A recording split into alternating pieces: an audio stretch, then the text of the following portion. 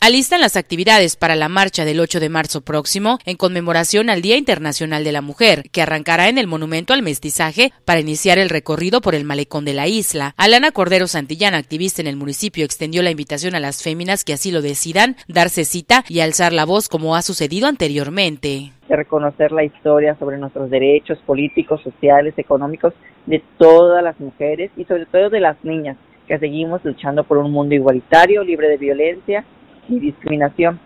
Por eso, pues decidimos eh, que aquí en Cozumel, obviamente, como en todo el mundo, no íbamos a pasar desapercibidas con esto y este año tenemos la marcha del 8 de marzo que se llama Nunca Silenciado, eh, que vamos a arrancar desde el Monumento al Mestizaje, como lo hemos hecho cada año, a partir de las 4 de la tarde. Estamos iniciando en un horario pues en la tarde por el tema de que las niñas y adolescentes ya se suman a esto. Entonces, sabemos que es una caminata del Monumento al Mestizaje hasta el Parque Quintana Roo.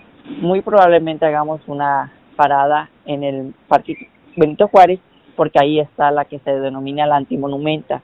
Esto es en memoria de todas las hermanas que han sido víctimas de, de violencia de género, de feminicidios, Dijo, si bien los sitios son públicos, pidió exista respeto de los hombres para mujeres que se darán cita en esta actividad. Al que respeten esta marcha. Eh, ¿a, qué nos, ¿A qué me refiero con esto? A que no, obviamente no se prohíbe que deambulen por la zona, porque pues el malecón es de todos, pero que sí respeten, porque ha sucedido donde estás, en, estás caminando y pues nunca falta el valiente, según, que se acerca y que pónganse a trabajar o mejor váyanse a limpiar, ¿sabes? Entonces sí, sí me gustaría extender la invitación hacia los chicos, hacia el género masculino, que de preferencia pues evite tener el contacto, porque sí ha sucedido. Yo me acuerdo, creo que fue en la marcha de 2019 o 20, donde una de las niñas logró expresar y abrir su, su corazón y su agresor estaba mismo en el círculo acompañando a otra chica. Entonces, eh, son esos pequeños detalles los que marcan la diferencia. Cordero Santillán recalcó, a través de los años se han desarrollado marchas pacíficas. Aclaró, las asistentes sienten tranquilidad ante la presencia de elementos de seguridad pública en el género femenino. Todas, todas, todas han sido pacíficas. Nuestra intención simplemente es la conmemoración, expresarnos, ser nosotras. Eh, sí se hacen los papelitos que llevan las niñas, se pegan en las paredes, pero jamás se ha rayado un monumento aquí en la isla. Todas las marchas han sido pacíficas porque pues nos han orillado a eso, nunca ha habido una agresión dentro de ella, esperemos que no suceda, entonces no tenemos el motivo, ¿no?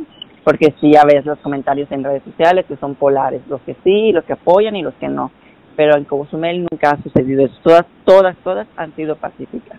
Se va a hacer llegar los oficios correspondientes para solicitarnos solo seguridad pública, sino protección civil por si, por tener, ¿no? Ya sabes, lo, estar preparadas. Entonces, obviamente agradecemos, o bueno, personalmente agradezco a Seguridad Pública porque a los, los, los elementos que han enviado han sido mujeres, que es lo que nos mantiene mucho más tranquilas, porque pues hay muchas chicas que tienen ese temor hacia el género masculino por las agresiones que han vivido en el pasado.